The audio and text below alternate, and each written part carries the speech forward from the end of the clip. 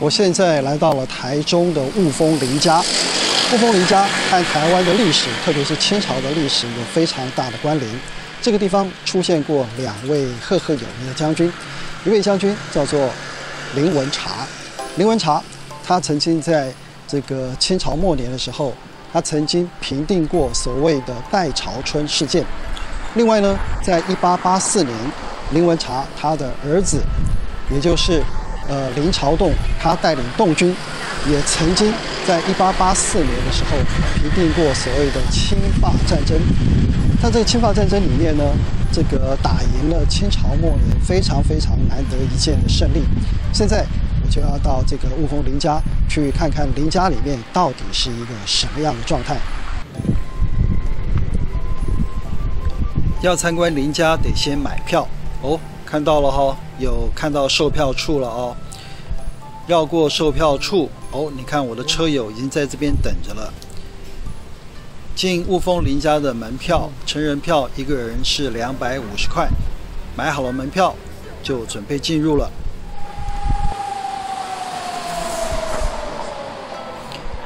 我现在到了台中的雾峰林家，哦，你有听到吗？有听到嗡嗡嗡的警报声吗？没错，是万安演习的声音。但是万安演习归演习吧，我们该走的行程还是走。我今天跟着我的两个车友，哎，我们这中年的欧吉桑阿贝们就要来到处探访。来探访的是雾峰林家，先要进的是宫保地。好，车友们，Let's go。首先你可以看得到的，他们正要迈过高高的门槛，这门槛可不是随便迈的。你可以看得到，他们刚刚是屈膝向前，那代表的是对这栋住宅的尊重。好，我们现在跨过了门槛，进来了沐风林家。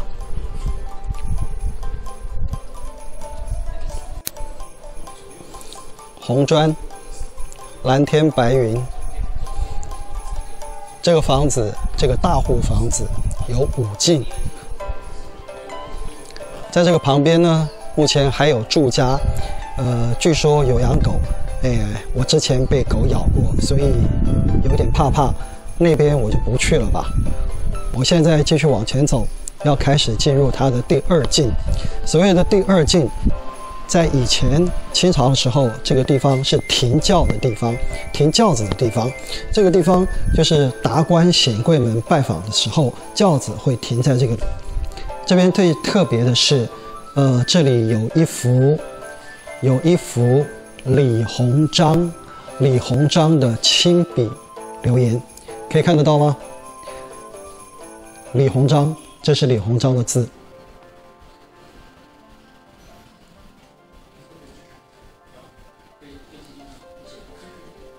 在这个地方是达官显要们他们轿夫暂时停留的地方。但是到今天，它已经变成了一个古迹。各位可以看到，现在脚踩的地砖，基本上它是呃呈斜线排列，但是呢又被解释成是一种入进入的入，就是说在欢迎你进入厅堂。另外呢，从厅堂我们再往前走。这边你可以看得到哦，它的瓷砖的排列方式就不一样喽。哦，你说有什么不一样嘞？好像它就是从这个斜的变成了直的。好，那我告告诉你，它更不一样的地方，更明显的地方在旁边的厢房。好，这样子够清楚了吧？这边你有没有看到？某个程度来说，你可以把它解释成是一个止，停止的止。换句话说。走入厢房，嗯，一般来讲，他们是不希望你进入，也就是他把它解释成是一个纸。通常呢，厢房就是他们的私人空间，当然是不希望你能够进入的。这个地方也非常重要的两个人，一个是我们现在画面上面看到的林朝栋，以及林朝栋的父亲。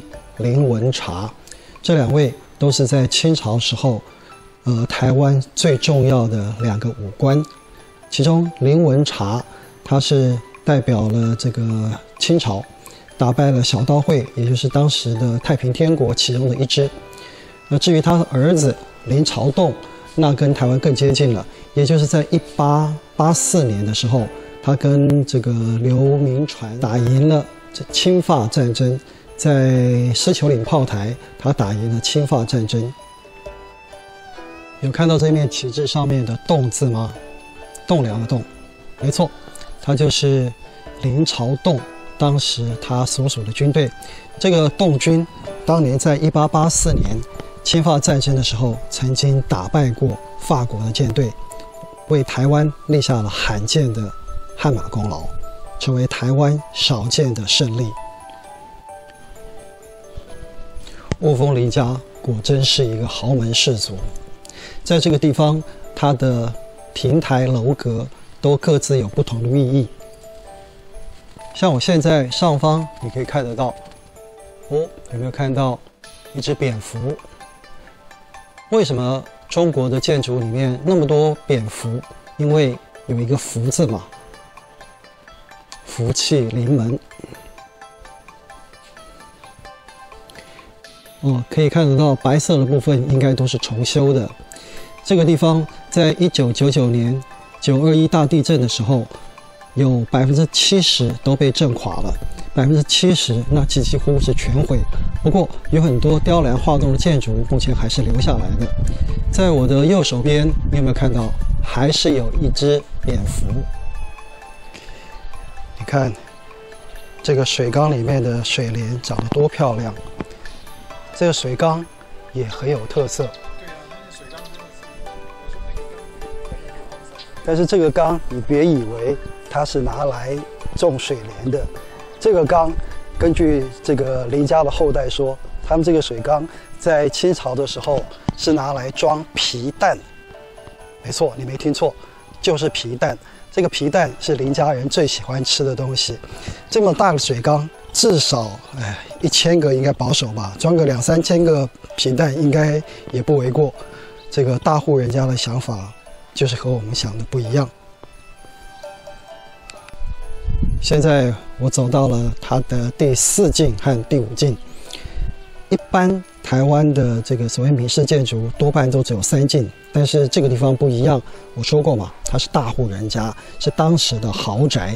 要怎么比喻呢？你要把它比喻成说是呃当时的郭台铭家，或者是当时的这个蔡家都可以。这里还有一个很特殊而且可以值得观察的地方是它的窗户。呃，对于当时的清朝人来讲，大户人家讲究比较多，多半是希望用单数，用单数来代表它的这个繁荣以及它的吉庆。好，现在可以看得到，这个窗户的窗纹上面它有几条，可以数得出来吗？没错，一、二、三，就是三条。另外呢，在墙上，即使是墙上，它也是有讲究的。好。这个墙你可以看得出来，它也是单数。来，我们一起来数数看：一、二、三、四、五、六、七、八、九、十、十一。没错，是十一单数。在在这个大草坪上面，可以看到有人很辛苦的正在捡拾杂草。后面是第五进，第五进呢，它暂时不开放，因为里面是供奉着他们的神主牌位，我们也不进去打扰。好看完了宫保地，现在要去隔壁的大花厅。大花厅是什么？大花厅是林家当年的私人招待所。这个私人招待所也很豪华，到底有多豪华？Let's go。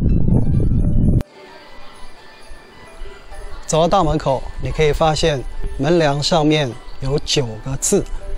这九个字的写法虽然不太一样，但其实都是同一个字，就是瘦。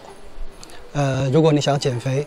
这九个字多念一次，多念九次，多念九遍，瘦瘦瘦瘦瘦瘦瘦。但是这个瘦跟那个瘦不一样，你别想歪了。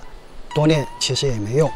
另外呢，你再看看这个呃门楣的上面有两个都像龙一样的东西，这个在大户人家来讲又是一种讲究，也就是说要独占鳌头。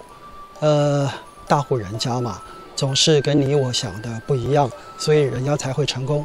好。我们现在继续往里面去看看里面的大花厅私人电影院到底长什么样子。我现在看到的这个门很有意思，它其实是两扇门，或者是说它是应该说是两个门，有圆的，有方的。圆的后面你可以看到绿色盆栽，对大户人家来说，它是有规矩的，因为呢，大户人家认为。圆为规，方为矩，所以说它要规规矩矩，看出去不但要有景色，而且做人处事要有规矩，所以它叫做规矩门。现在呢，我就要透过这个规矩门来看看这个大花厅。这个大花厅据说在当时是全台湾最最繁华、最最繁盛、规格最高的一个花厅。哦。走到大花厅的这个城院里面，可以看得到有人啊，有装扮成古装扮相的两个美女，因为 cosplay。我们就喜欢汉服，所以就自己有收藏。这是你们在这边租的吗？还是自己家里的？啊，家里的。家里的，可是你是唐装啊。对，这是唐，我是宋，宋。对，你是你。哦，你是宋？对，他是唐。哦，因为我看他那个有花店。呃，对对对，他是唐，没错。丑代。哈哈，现在看到这个大花厅，像不像一顶大帽子戴在我的头上？实际上，它真的是很大，足够容纳一个戏班子。不过，这个大花厅在当时应该是超越体制的，因为就一个官员来说，他不应该拥有这么大的花厅，这已经是皇家拥有的规格了。不过台湾呢，天高皇帝远，也没有人会来管它。我们现在就来一起来看看这个花厅，它到底有多大，到底有多浮夸。首先映入眼帘的是福州戏台。左边是男宾席，右边是女士专区，男女有别。当时男女不能够坐在一起。再来，我们看到戏台底下的大水缸，水缸里装了三分之一的水，总共有六个大水缸。好，我们现在再把镜头给拉开，拉开来，我们可以看到这个戏台够大，戏台的顶端是藻井，还有一朵。呃，它象征是花开富贵的大牡丹花，在这个中空的藻井和戏台底下的大水缸，可以产生共鸣效应，就类似现在的喇叭环场音效，坐在后排的观众都可以听得到。这个有百年历史的戏台，现在是台湾国宝级的古迹，特别是上个世纪中，中国大陆发生了文化大革命，很多皇家的福州戏台都被拆掉了。台湾的这座戏台更是弥足珍贵。戏台的正对面是大厅，看戏的时候这里是贵宾席，宴会的时候是贵宾厅，而平常时候它就是会客室和议事厅。从前这里庭院深深深几许，只有达官贵人才准进入，到如今曲终人散，这个中滋味大概只有大将军林朝栋才能体会。因为这座大花厅和隔壁的宫保地都是在他手里打造完成，只可惜大花厅落成不到两年。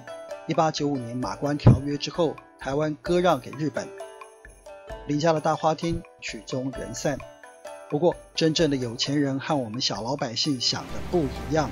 雾峰林家的后代子孙，现在在台湾的银行业、教育界和产险业各行各业都占有一席之地。他依旧是台湾极有影响力的大家族。